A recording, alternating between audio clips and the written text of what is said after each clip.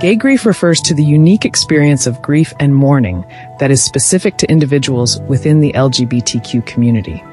It encompasses the emotional, psychological, and social challenges that arise from the loss of a loved one, discrimination, rejection, or the struggle for acceptance within a society that may not fully embrace or understand their identities. Gay grief can be caused by various factors, including the loss of a partner, rejection from family members, discrimination in the workplace or society, and the ongoing struggle for acceptance and equality.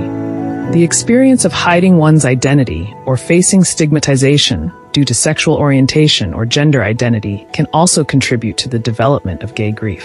The symptoms of gay grief are similar to those of traditional grief, but may also include feelings of isolation, shame, and a sense of not belonging. LGBTQ individuals experiencing gay grief may also struggle with internalized homophobia or transphobia, which can further complicate the grieving process. Gay